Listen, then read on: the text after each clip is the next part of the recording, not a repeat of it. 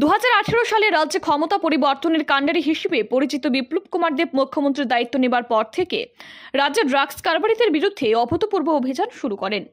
বাম জমানায় যারা রাজ্যকে ড্রাগস কারবারের করিডোর হিসেবে গড়ে তুলেছিল, তাদের বিরুদ্ধে একের পর এক অভিযান শুরু করেছিলেন প্রাক্তন মুখ্যমন্ত্রী বিপ্লব কুমার দেব।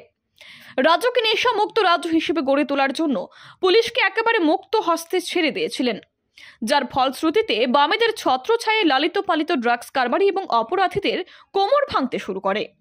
এ অবস্থায় কট্টরপন্থী বামেদের চরম শত্রু হয়ে উঠেছিলেন প্রাক্তন মুখ্যমন্ত্রী। শোনা গিয়েছিল, বিমল সিনহা কিংবা সুক্রম দেববর্মার কায়দায় বিপ্লব কুমারের বিরুদ্ধেও চক্রান্ত শুরু করেছিল অপরাধীরা, যার কারণে পূর্বতন মুখ্যমন্ত্রীর নিরাপত্তাও বাড়ানো হয়েছিল। ফলে বিপ্লব দেবের তেমন কোনো ক্ষতি করতে পারেনি অপরাধীরা। কিন্তু বিপ্লব কুমারী যে এই সকল কর্ম কিন্তু বিপ্লব কুমারী যে এই সকল অপরাধীদের প্রধান শত্রু এখনও প্রকাশ করল অপরাধীরা। বিপ্লব কুমার দেবের ক্ষতি করতে না পেরে তার পৈতৃক বাড়িতে আয়োজিত যজ্ঞানুষ্ঠানের প্রস্তুতিতে হামলা চালিয়ে দেয় অপরাধীরা। সেখানে ধর্মীয় অনুষ্ঠানের জন্য আনা সমস্ত কিছু গুড়িয়ে দেবার পাশাপাশি গাড়ি, বাইক ভেঙে চুরমার করে দেয় সন্ত্রাসীরা। বুধবার ঘটনাস্থলের গ্রাউন্ড জিরো থেকে আরও বিস্তারিত তুলে ধরেছেন আমাদের প্রতিনিধি উৎপল দে। আপনারা দেখতেই পাচ্ছেন, গতকাল রাতে জায়গাতে কিন্তু হামলা হয়েছিল গাড়িতে এবং বাইকে। কোন জায়গাতে সেটা আপনারা ইতিমধ্যে জেনে গিয়েছেন। রাজ্যের প্রাক্তন মুখ্যমন্ত্রী তথা সাংসদ বিপ্লব দেবের বাড়ির সামনে এই গাড়িটি প্রথমে ভাঙচুর করা হয় এবং এই গাড়িকে ভাঙচুর গাড়ি ভাঙচুর করার পর কিন্তু এই জায়গায় উত্তপ্ত পরিবেশ সৃষ্টি হয়। একাধিকে বাইক ভাঙচুর এবং দুটি, তিনটি দোকান পুড়িয়ে দেওয়া হয়।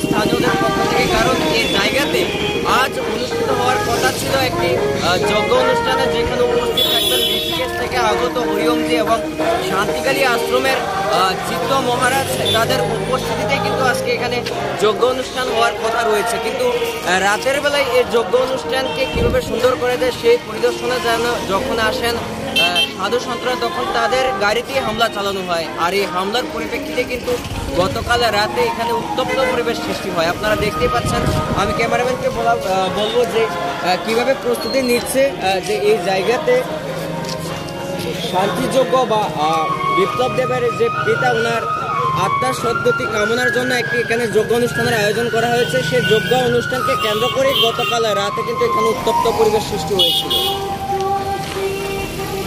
ব্যুরো রিপোর্ট আর ই নিউজ।